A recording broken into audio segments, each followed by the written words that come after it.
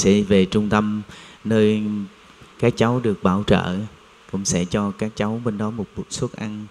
Và các cháu ở trong trung tâm cũng hưởng được cái phước này. Mà ngày 25 tới nhóm mình về đó để chia sẻ. À, con cũng xin là đại diện cho anh em trong tu viện. Cảm ơn nhóm rất là nhiều. Vì tấm lòng của nhóm rất là cao cả. Yeah. à, quý à, phật tử thân mến à, chúng ta phải hứa với nhau rằng là à, suốt cuộc đời này. Và ngay cái giây phút này luôn luôn chúng ta giữ cái nụ cười giữ cái niềm an lạc ở trong tâm. Đừng để đánh mất cái nụ cười và cái niềm an lạc ở trong tâm của mình dù bất cứ một hoàn cảnh nào. Và con xin nhắc lại là tất cả những hoàn cảnh trong cuộc đời mà nó xảy ra với chúng ta dù là đắng hay là ngọt dù là vui hay là buồn thành công hay thất bại thì đều chỉ là một câu chuyện sau qua một ngày. Sau qua một ngày sau qua một tháng sau qua một năm rồi thì tất cả chỉ là một câu chuyện thôi. Nhớ kỹ điều đó. Và không ai mà có thể tắm một lần mà có thể là nhiều lần trong một dòng nước. Thì lúc mình nhảy xuống á, là dòng nước nó đi ngang qua.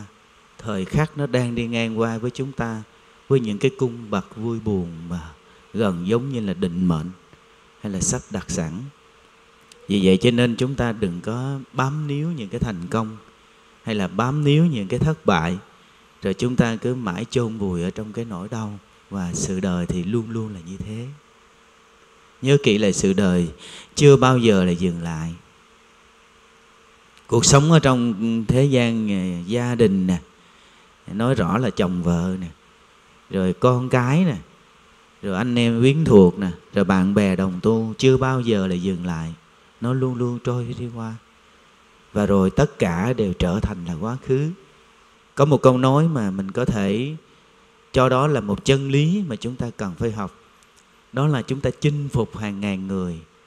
Cái điều đó nó vẫn chưa phải là thành công. Chúng ta làm cho chúng ta hạnh phúc mới là chân lý. Cô xin nói lại này, chúng ta làm cho bao nhiêu người nể kính mình, quy phục mình, tung hô mình. Chúng ta chưa hẳn là tài giỏi. Điều mà chúng ta làm cho mình hạnh phúc đó, đó mới thật là người có tài. Và trong cuộc đời này ai cho mình đau khổ Và ai cho mình hạnh phúc Không ai hơn mình đâu Chỉ có mình mới đủ năng lượng, đủ điều kiện Để tô đắp cho mình vẽ cho mình bức tranh thiên đường mặc dầu là sóng gió bên ngoài tấp đến. Mọi người đó là kẻ thù của mình, phải không? Đó là người làm tổn thương mình, đúng không? Để tha nhân là khinh khi mình, đúng không? Tề bạc với mình, đúng không? Tất cả những thứ đó đều là những cái diễn cảnh trong cuộc đời giả tạm này. Chúng ta sẽ nhận ra nó nếu chúng ta có trí tuệ. Và ý nghĩa của một người làm phật tử là gì? Là chúng ta đi ở trong trong sình mà không nhiễm, như hoa sen, và đứng trên biển lửa của cuộc đời mà không để cháy. Đó là đừng để mình phải nóng, phải vội, phải đau đớn vì những tình cảnh. Nhìn phật tử về với con á, thì thôi đừng quan tâm vấn đề là con có buồn hay không. Đừng quan tâm đến những cái tan thương vừa rồi mà nó xảy ra trong cái tu viện này bởi vì những cái đó đều là những kỷ niệm. Để những ký ức đã đi qua và biết đâu chừng những cái ký ức, những kỷ niệm đó nó lại là một cái bài học. Nó quý báu hơn những cái trang sử, trang sách, trang kinh mà tụi con học mỗi ngày. Bởi vì nó quá thực tế. Và đời mà nó càng phủ phàng á, thì nó lại là một cái nấc thang thiên đường cho những bậc trí nó chỉ trở thành địa ngục là do con người không hiểu biết thôi. Thì tất cả đều là một cái giấc mơ đi ngang một cuộc đời cho nên mình đừng có quá kỳ vọng. Hôm nay trong cái tình thương bao la của người con phật con vẫn mong là quý phật tử đừng có trùng bước đừng có trùng lòng. Ai cũng nở nụ cười cho con thấy an lạc đi. Vậy mà cô cô cô, cô kiều phúc vẫn ngồi khóc à không hiểu thì sao lần nào gặp con rồi cô cũng khóc, hu hu hu cô không làm cho con cảm thấy là kiểu như là, kiểu như mình gặp cô là mình có thể học hỏi được, mình gặp cô là mình có thể hạnh phúc được, an lạc được. Gần là gặp cô cô cũng khóc và nói hết. Cho nên con sẽ ngại đó. Con muốn tuyển một người đi vào thế giới tây phương bằng cái nụ cười đời chưa bao giờ gọi là hạnh phúc hết. Đức phật đã nói là đời là bể khổ.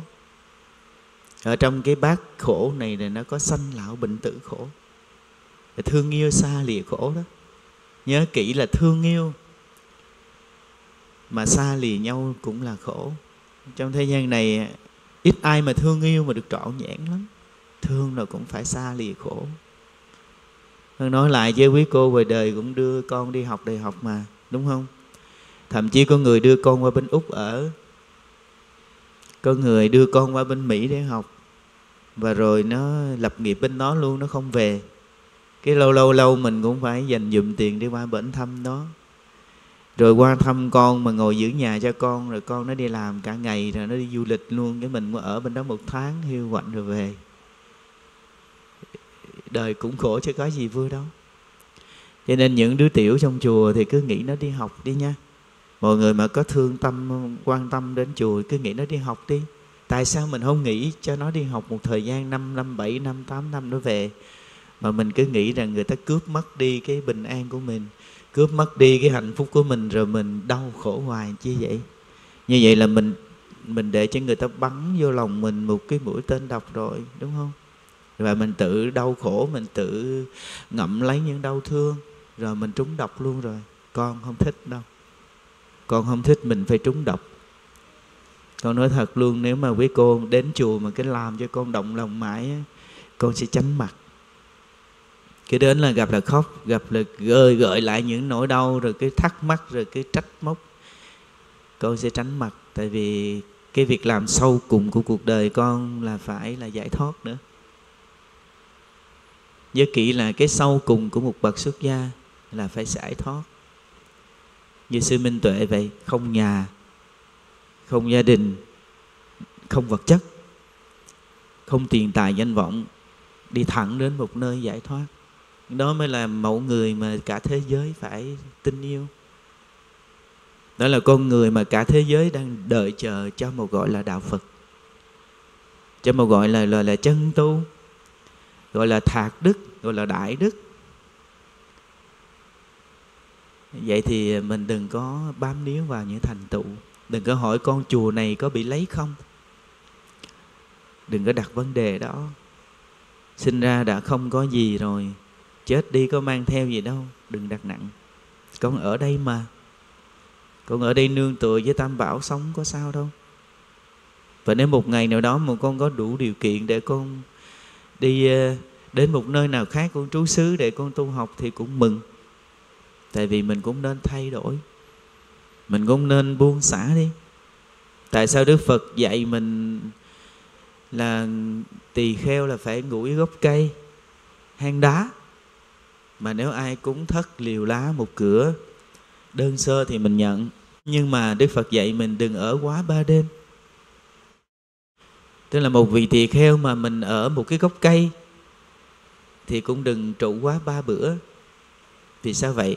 Bởi vì đức phật ngại mình sẽ chấp vào cái gốc cây đó là của mình. Và khi mình nghĩ rằng cái gốc cây đó là của mình, thì cái lòng tham của mình bắt đầu nó trụ lại. Và đây là cây của tôi. Thì cái cây của tôi đó là một bức tường, nó ngăn cách cái sự tiến đạo nghiêm thân của mình. Nghĩa là khất sĩ là vô vô cầu. Mà đạo đức là vô ngã tu là vô tình, vô tâm. Đừng có vướng mắc vào tình yêu. Đừng có quan tâm đến thành trụ bãi không của xã hội, của con người, của vấn đề khen chê.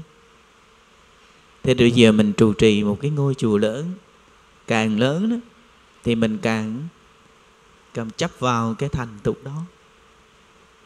Rồi là càng cao danh vọng thì càng dày gian nan. Cho nên mới nói là càng buông bỏ dưới chân này thì ấy là chỗ đứng càng ngày càng cao. Cho nên khất sĩ là bốn chân trời rã bước, vừa tu vừa học và hành. Là không chấp vào thì cái đó là chân lý. Đó là lý do mà chúng ta quý kính một bậc nhà sư mà không có thọ giới, không có truyền thống, không có vào những cái tổ chức mà chúng ta đều quy kính. Chúng ta muốn lễ lại một lần trong đời để chúng ta hưởng được cái ân đức đó thì đã quý kính như vậy rồi thì đừng có tiếc cái chuyện của con. Đã quý kính như vậy rồi thì đừng có kéo con lại.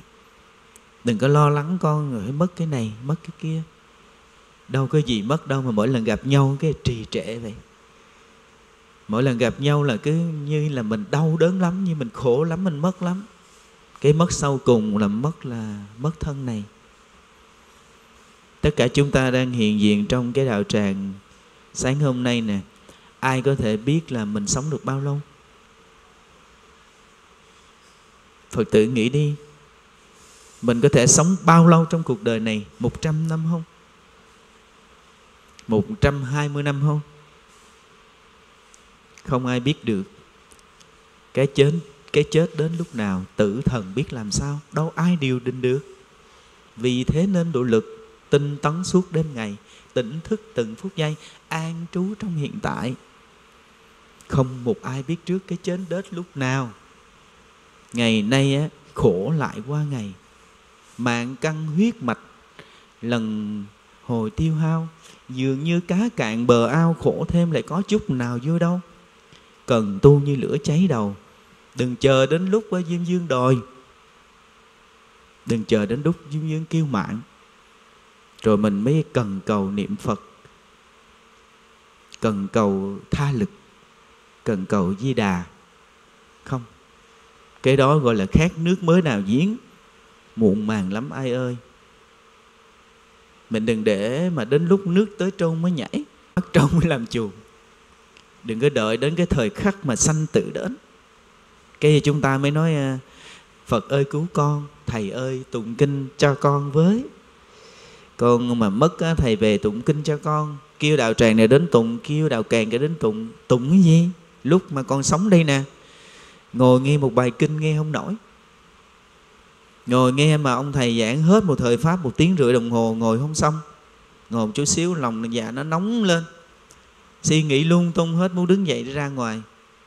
Vậy mà chết đó là người thân mở kinh suốt ngày làm sao chịu nổi? Làm sao mà nghe nổi? Linh hồn nào ở đó để nghe kinh? Chết rồi thì phải có một cõi khác để đi. Dù là đi ngạ quỷ thì cũng có cõi ngạ quỷ. Dù là đến địa ngục thì cũng có cõi địa ngục. Mà cho dù lên thiên đường hay tái sanh làm người thì cũng có cái cõi để mình đi. Làm gì mà ngồi đó mà nghe kinh mà mở cả ngày được? Nên trong thời gian mà bảy bảy, bốn, chín ngày là phải cúng kiến, phải cầu nguyện, phải khiến tấn để cho cái hương linh đó tỉnh ngộ mà siêu sanh tỉnh ngộ mà đầu thai đó. Nhưng mà thật ra đó giá trị nó ở nơi lúc mình còn sống đó. mà giá trị lúc còn sống đó, không phải đơn thuần như là mình làm phước đi chùa lễ phật tụng kinh bái sám. Không đơn thuần là đi làm cầu làm đường làm nhà. Cái đó là mình thêm hoa thêm hương cho cuộc đời giả tạm của mình thôi. Cái chân lý nó ở nơi chỗ mình biết buông hay không con nói lại này, cái chân lý ở chỗ là mình có biết buông hay không? Biết buông tham lam biết buông biết buông là sân hận biết buông là ích kỷ biết buông thù ghét biết buông hơn thua tranh chấp không? Bây giờ mà cô diệu phúc ngồi đó mà có ai mắng cô một câu mà cô có còn mà đau khổ mà dằn vặt không? Có còn tìm ra lời nói để chỉ trích lại không? Có nằm đêm suy nghĩ, ngày mai mình trả thù mình cách nào không? Có còn hận không? Cái đó mà buông được, thì đó là tu nên cái người tu là thông dông à. tại sao gọi là thông dông và tự tại? Là ở trong lòng không có dướng bận. Còn cuộc đời là không bao giờ mà thông dông tự tại được. Ví dụ sư minh tuệ mà bước xuống đường cái người ta chạy đến người ta lễ đông quá cho nên kẹt đường không thông dong được. Sư kêu hoài, sư nói, đừng đi theo sư. Đừng quay phim chụp hình sư nữa. Sư đâu phải là diễn viên Hollywood đâu mà người nào cũng quay phim, người nào cũng chụp hình mấy chiếc xe cũng dừng lại nữa.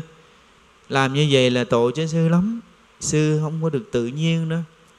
Sư cũng còn đời sống tư nhân, rồi cũng phải tiêu tiện cũng đi giải, rồi phải tắm rửa, phải thay y thay áo, phải ngồi, phải nghỉ, phải ăn. Thấy không? Sư đâu có tự do tự tại sư vừa ngồi xuống cái một trăm người, hai trăm người, một ngàn người, quay vòng sư lại. Liền có một trăm cái điện thoại quay sư. Cho nên sư có đau bụng cũng ráng gồng lên ngồi. Sư có mắc tiểu cũng phải ráng chờ đợi. Chờ cho đến khi khuya mọi người đi về hết rồi, sư mới bắt đầu ráng đi giải quyết cái đó. Sư có đâu bình an đâu. Sư đâu tự tại đâu. Sư chỉ có an yên thôi tức là trong sóng gió, trong nghịch cảnh, trong những bế tắc của cuộc đời mà giữ được cái lòng của mình. Nó thanh bình. Trong cội tâm của mình nó không lăng xăng, nó không hơn thua, nó không sân si. Cái đó gọi là an yên. Cho nên mình chúc bình an á, là mình chúc cho vui. Chứ cuộc đời này không được bình an. Cho dù mình làm một vị phật, thì đức phật, thích ca mâu ni cũng bị người ta ghét bỏ đức phật thích ca mâu ni cũng bị người ta hãm hại.